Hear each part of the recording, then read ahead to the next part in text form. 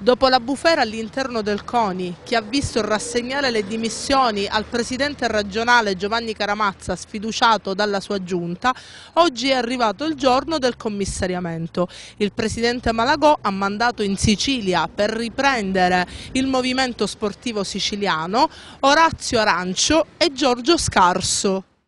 presenti questa mattina in conferenza stampa presso i locali del CONI regionale in via Pietro Nenni diversi presidenti di federazioni regionali, tra i quali alcuni di quelli che avevano sfiduciato il presidente Giovanni Caramazza. Faccio un in bocca al lupo, un augurio di buon lavoro a loro e io li ringrazio per quello che faranno e ringrazio anche il CONI.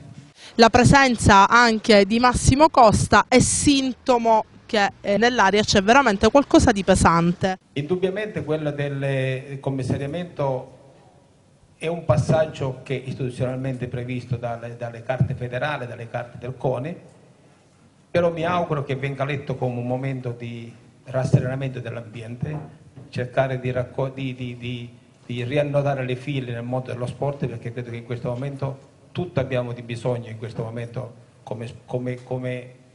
cultore di queste, de, dello sport e delle varie discipline sportive ma non certamente la controposizione. Il commissario Giorgio Scarso, siciliano di Modica, è un dirigente sportivo italiano, presidente della Federazione Italiana Scherma, già in carica dal 2005 e oggi in conferenza ha fissato gli obiettivi di questo commissariamento. Condurrà il movimento sportivo siciliano all'elezione di un nuovo presidente, ma non ha dato un tempo. Ha appunto detto che le elezioni avverranno solo quando il movimento sportivo siciliano si sarà ricompattato e viaggerà insieme uniforme verso nuovi obiettivi.